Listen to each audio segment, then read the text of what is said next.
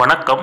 நம்மளுடைய சேனலில் கமெண்ட் செக்ஷனில் பிரச்சனை இருப்பதால் உங்களுடைய சந்தேகங்களை நான் வாட்ஸ்அப் நம்பர் கொடுத்துருக்கேன். அதன் மூலியமாக கேட்டு தெரிஞ்சுக்கலாம். இன்றைக்கு மாந்திரிக பயிற்சியில் நம்ம பார்க்கக்கூடிய முறை என்ன அப்படின்னா முனீஸ்வரனை ஆகர்ஷணம் பண்ணக்கூடிய ஒரு முறை.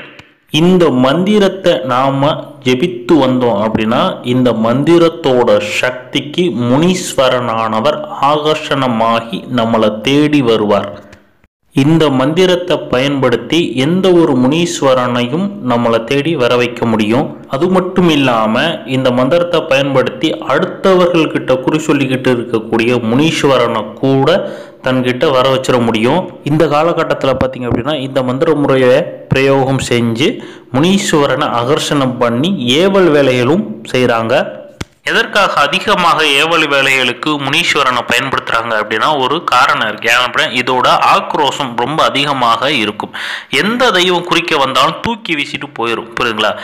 அப்போ ஒரு வீட்டுக்கு ஏவல் செய்கிறோம் அப்படின்னா கண்டிப்பாக அந்த வீட்டில் இருக்கக்கூடிய காவல் தெய்வமோ இல்லை அவங்களுடைய இஷ்ட தெய்வமும் வந்து தடுக்கும். இந்த முனீஸ்வரம் உள்ளே போகும்போது அவங்களோட இஷ்ட தெய்வம் வந்து தடுக்கும். அதை என்ன பண்ணும் அப்படின்னா தூக்கி வீசிட்டு உள்ளே போயிடும் புரியுதுங்களா? எந்த விதமான தடங்களுமே இல்லாமல் உள்ளே போய் முடிச்சிடும் அது எப்பேற்பட்ட தெய்வம் காவல் காத்தாலும் சரி எந்த விதமான தடங்களுமே இல்லாமல் உள்ளே போயிடும் அது மட்டும் இல்லாமல் இந்த விஷயத்தை ஒரு கனவு மூலியமாக அந்த குடும்பத்தில் இருக்கக்கூடியவனுக்கே அதை தெரியப்படுத்திடும் இது வந்து ஏவல் போனால் மட்டும் கிடையாது. இன்னும் ஒரு சில நேரங்களில் பார்த்தீங்கன்னா அகால நேரத்தில் முனீஸ்வரன் ஓட்டம் இருக்கக்கூடிய நேரத்தில் ஒரு குறிப்பிட்ட நபர் அந்த இடத்துக்குள்ளே போகிறாங்க அப்படின்னா அப்போ அவங்கள அந்த முனீஸ்வரனானது தொட்டு வரும். ஒரு சில நேரங்களில் இறந்த ஆன்மாக்கள் கூடவும் இந்த முனீஸ்வரனானது தொட்டு வரும். அப்படி தொட்டு வரக்கூடிய வேலையில் அந்த நபரை பின்தொடர்ந்து அந்த வீட்டுக்குள்ளே போகும்போது எந்த சக்தி தடுத்தாலும் அதை தூக்கி வீசிட்டு போயிடும் நிறைய பேருக்கு பார்த்தீங்க அப்படின்னா இதை வந்து அந்த குடும்பத்தில் இருக்கக்கூடியவங்களுக்கு கனவு மூலியமாக காட்டும்.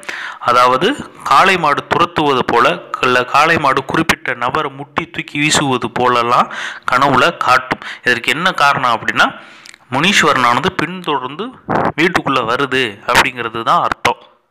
மாந்திரீகத்தில் இந்த அளவுக்கு இந்த முனீஸ்வரன்களோட சக்திகள் இருக்கும். இந்த முறையை பயன்படுத்தி முனீஸ்வரனை ஆகர்ஷணம் பண்ணுவதற்கு அமாவாசை நாள் வந்து உகந்த நாள். அமாவாசை வரக்கூடிய நாளை தேர்ந்தெடுத்து இரவு அதாவது இரவு நேரங்களில் எட்டு மணிக்கு மேலே இந்த பூஜையை செய்ய ஆரம்பிங்க. அதாவது இரவு எட்டு மணியில் இருந்து இரவு பன்னிரெண்டு மணிக்குள்ளே இந்த பூஜையை நீங்கள் முடிச்சிடலாம். இதற்கு பார்த்தீங்க அப்படின்னா உங்களுடைய பூஜை அறையும் பயன்படுத்தலாம் இல்லை வெளியிடங்கள்லையும் இந்த பூஜையை நீங்கள் செய்யலாம். உங்களுடைய பூஜை அறையில் பார்த்தீங்க அப்படின்னா ஒரு முனீஸ்வரனோட சிறு உருவச் சிலை வைத்து வழிபாடு செய்யலாம் இல்லை திரிசூலம் அடித்து சிறிய அளவில் திரிசூலம் அடித்து வைத்தும் இந்த பூஜையை நீங்கள் செய்யலாம் இல்லை முனீஸ்வரனோட படம் வைத்தும் இந்த பூஜையை நீங்கள் செய்யலாம். இது பார்த்தீங்க அப்படின்னா எப்படி செய்கிறீங்க அப்படின்னா தெய்வம் இருக்கக்கூடிய முகம் பார்த்தீங்க அப்படின்னா கிழக்கு முகமாக இருக்கணும். நீங்கள் எந்த திசையில் வேணும்னாலும் அமரலாம். அதாவது நீங்கள் தெய்வத்தை நோக்கி பார்த்தபடி அமரணும். ஆனால் தெய்வத்தோட முகம் கிழக்கு திசையை நோக்கி இருப்பது போல இருக்கணும்.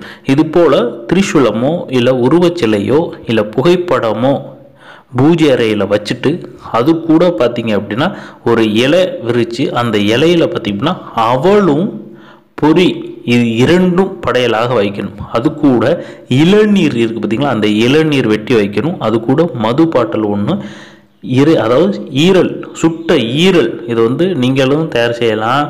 கோழி வாங்கி இல்லை கடைகள்லையும் இந்த ஈரலை வாங்கி சுட்டு வைக்கணும். இது அனைத்தும் படையலில் வைங்க. வேறு எந்த பொருட்களும் வேணாம். அதே போல் இந்த பூஜைகள் செய்யும்போது நறுமண பொருட்களை நீங்கள் பயன்படுத்துங்க. அதாவது அர்த்தர் ஜவாத் இது போல பொருட்களை நீங்கள் பயன்படுத்துங்க. இந்த பூஜையில் வந்து மல்லிகை பூவை பயன்படுத்துங்க. அப்படி மல்லிகை பூ கிடைக்காத பட்சத்தில் கதம்பம் இருக்குது பார்த்தீங்களா எல்லா மலர்களும் சேர்ந்து அதை நீங்கள் பயன்படுத்தலாம்.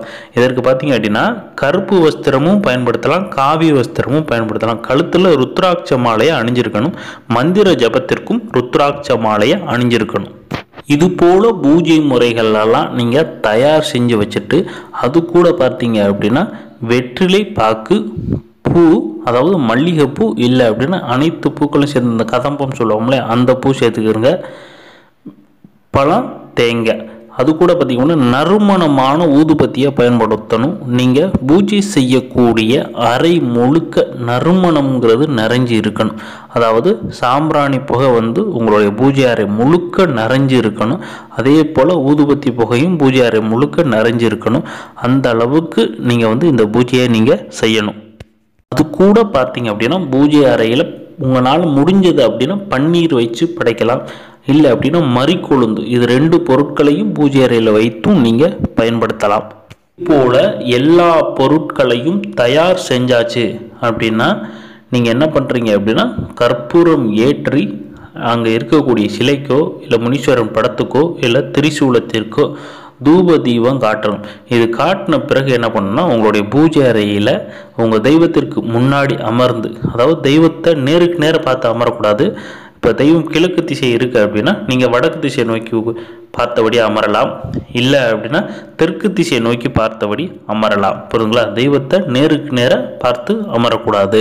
இப்போ இது போல் அமர்ந்துட்டு உங்களுடைய மனசில் நீங்கள் விரும்பின முனீஸ்வரனோட உருவச்சிலையை மனசில் நினச்சி அதற்கு முன்னாடி அமர்ந்து இருப்பது போல பத்மாசனத்தில் அமர்ந்து இந்த மந்திரத்தை நான் ஸ்க்ரீனில் கொடுத்துருக்கக்கூடிய மந்திரத்தை ஜெபிக்க ஆரம்பிக்கணும். மொத்தம் ஆயிரத்தி எட்டு ஒரு கொடுக்கணும். என்னால் தினந்தோறும் ஆயிரத்தி எட்டு உருலாம் கொடுக்க முடியாது அப்படிங்கிற பட்சத்தில் நூற்றி எட்டு உராது கொடுங்க. நூற்றி எட்டு உரு கொடுக்கும்போது நாட்கள் எண்ணிக்கை அதிகமாகும். ஆனால் ஆயிரத்தி எட்டு உரு கொடுக்கும்போது இருபத்தி ஒரு தினங்கள் இந்த பூஜையை செஞ்சாலே போதும். அதற்கு உள்ளாகவே இந்த முனீஸ்வரனானோட அருள் உங்களுக்கு கிடைக்க ஆரம்பிச்சிடும் இதுபோல் மந்திர முறையை நீங்கள் முறையாக செஞ்சு வந்தீங்க அப்படின்னா முனீஸ்வரனானவர் உங்கள் பக்கத்தில் வருவதை உங்களால் உணர முடியும். பூஜை நேரம் மட்டுமில்லை மற்ற நேரங்களையும் முனீஸ்வரன் உங்கள் கூட இருப்பதை உங்களால் உணர முடியும். பார்த்தீங்க அப்படின்னா சில நேரங்களில் விபூதி வாசங்கள் இல்லை பன்னீர் வாசம் இல்லை சந்தன வாசம் இது போல் ஏதாவது ஒரு நறுமணம் உங்ககிட்ட சம்மந்தம் இல்லாமல் திடீர்னு வரும். பத்தி வாசம் சாம்பிராணி போக வாசம் இதுபோல் சம்பந்தம் இல்லாத இடங்களில் நீங்கள் தனிமையில் இருக்கக்கூடிய வேலையில் கூட இந்த நறுமணங்கள் உங்களை பின்தொடர்ந்து வரும் சில நேரங்களில். அப்படி வருது இது போல் அறிகுறிகள்லாம் தென்படுது அப்படின்னாலும் சரி கனவுகள் ரொம்ப பயங்கரமாக வருது அப்படின்னாலும் சரி காளை மாடு திரத்துவது போல் கனவுகள் வருது அப்படின்னாலும் சரி இல்லை உங்களுடைய பூஜை அறையில் பார்த்தீங்க அப்படின்னா ஒரு வித்தியாசமான நறுமணம் திடீர்னு வர ஆரம்பிக்கும். சில நேரங்களில் உருமல் சத்தம் கேட்பது போல் இருக்கும்.